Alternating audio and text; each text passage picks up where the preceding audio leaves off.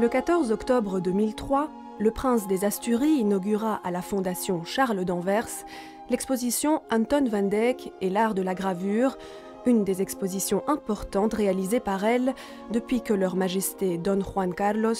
et Doña Sofia, en présence du roi Baudouin et de la reine Fabiola, inaugurèrent en 1992 le siège restauré et agrandi de la Fondation. La Fondation est devenue depuis lors un rendez-vous obligatoire pour les amateurs d'art, de musique, d'histoire et de culture en général. Conformément aux buts établis par ses statuts, elle consacre principalement ses activités aux échanges culturels entre l'Espagne et les anciennes 17 provinces des Pays-Bas, aujourd'hui la Belgique, le Grand-Duché de Luxembourg, les Pays-Bas et le nord de la France, ainsi qu'à la construction européenne. Cette spécificité en fait un espace unique au sein du panorama culturel madrilène. Depuis 1992, elle a proposé une cinquantaine d'expositions et autant de conférences, de nombreux séminaires traitant de sujets nationaux et internationaux, 120 concerts et 60 publications et catalogues. Elle doit ses réalisations à l'appui constant d'entreprises et institutions espagnoles et étrangères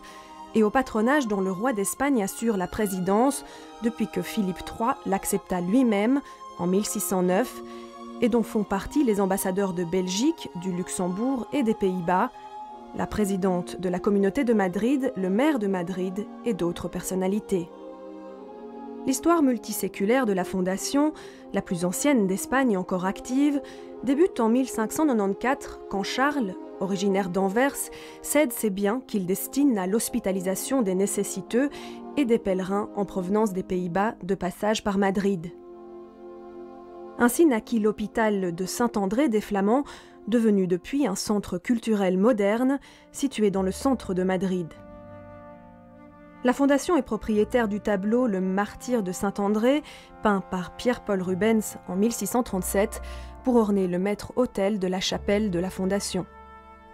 Plus de 500 000 visiteurs ont pu contempler dans ces salles des œuvres de Rembrandt, Goya, Picasso, Van Dyck, des dessins et gravures de Escher, Félicien Rops, Henri Michaud et Paul Delvaux, ainsi que des photographies d'Edward Steichen, Ansel Adams et de René Magritte, et d'autres en provenance de la célèbre agence Magnum, signées Henri Cartier-Bresson et Harry Gruyart.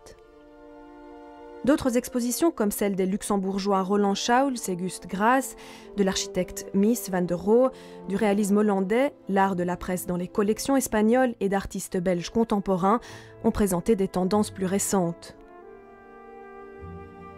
Les liens historiques entre l'Espagne et les anciennes 17 provinces des Pays-Bas firent l'objet de nombreuses expositions dont la fondation fut à l'origine. El Real Alcázar de Madrid inauguré par les monarques belges, se tint simultanément au musée du Prado, au patrimoine national, à l'Académie royale des beaux-arts de San Fernando et à la Fondation.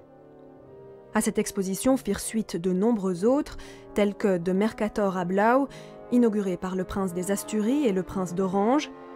les instruments scientifiques au XVIe siècle, très appréciés par le public, ainsi qu'une exposition consacrée à l'imprimeur Christophe Plantin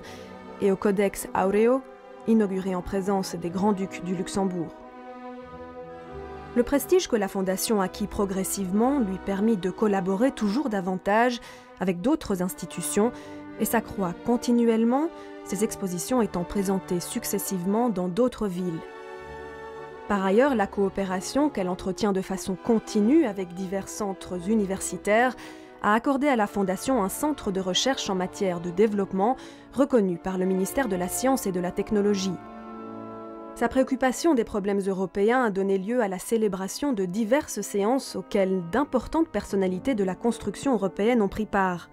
Leo Tindemans, Leopoldo Calvo Sotelo, Javier Solana, Willy Klaas, Alexandre Lamfalussy, Luis Angel Rojo, Jacques Santerre, Felipe González, Jean-Luc Dehaene, Wim Kok, José María Aznar, Pedro Solves, Robert Mundell, Guy Verhofstadt, Jean-Claude Juncker ont exposé leurs opinions sur l'Europe, les débattant ensuite avec le public,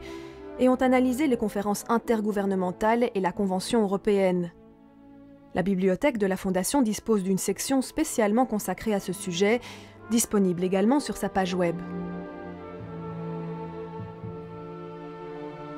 La presse a suivi avec un intérêt croissant les activités de la Fondation qui ont mérité près de 3000 commentaires dans les médias. Près de 2000 dans la presse écrite, journaux internationaux, nationaux, locaux et revues spécialisées, et depuis la généralisation d'Internet, près de 300 signaux digitaux, sans oublier ses apparitions à la radio et à la télévision. Il s'agit d'un long parcours ayant permis d'engranger des fruits et que nous poursuivrons par notre travail. Mais ces objectifs n'auraient pas pu être atteints sans l'appui de nombreux sponsors, des sociétés et institutions qui lui ont apporté leur collaboration, sans celui de nos députés, sans l'attention continue que les moyens de communication prêtent à nos activités et grâce à tous ceux qui répondent à nos convocations. À eux tous, nous faisons part de notre gratitude et nous nous engageons à poursuivre nos efforts.